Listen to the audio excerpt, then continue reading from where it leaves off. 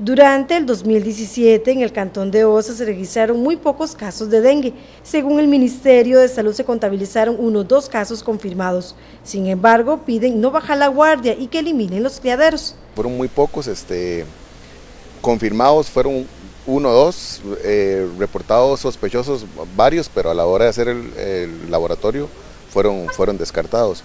Y el 2018 empieza algo parecido, o sea, está, muy tranquilo, todavía no hay reporte. En el pasado y ya este primer mes de enero, el ente rector coordina con una serie de instituciones para llevar a cabo campañas para la eliminación de criaderos que reproduzcan el mosquito del dengue. Sí, es un compromiso como ministerio, con el apoyo de muchas instituciones, municipalidad, Instituto Costarricense de Electricidad, Productos Alcantarillados, en general, si se me escapa alguna que me disculpen, e, es un esfuerzo institucional seguir este, avanzando hacia estas campañas y, enfocando mucho en la prevención y en la, promoción. E, es importante que también el contexto epidemiológico es, fundamental porque fue un año tranquilo casi a nivel de país también y, a nivel de región, entonces también eso influye y, y, responde un poco al carácter cíclico que tiene la enfermedad. También las autoridades brindan recomendaciones importantes a los dueños de diferentes negocios, debido a que este lugar es muy visitado. Siempre es bueno para este tipo de enfermedades eh, vectoriales,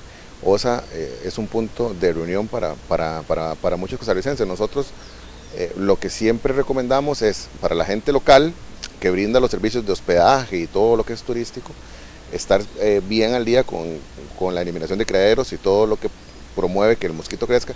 Y la gente que visita los lugares también que tome sus medidas protectoras como llevar repelente, tratar de llevar mosquiteros para evitar ser picado por los como le digo, de momento, más bien ahorita en la época de verano, los que, lo, que nos, lo, que, lo que nos complica es eso, más bien puede ser que estemos tranquilos y puede ser que alguien venga de otro lado enfermo y nos llegue a dejar ahí la, la enfermedad, pero como te digo, de momento estamos tranquilos y todavía no hay, no hay reporte de casos. En OSA se mantienen alerta para evitar que se presenten casos de dengue.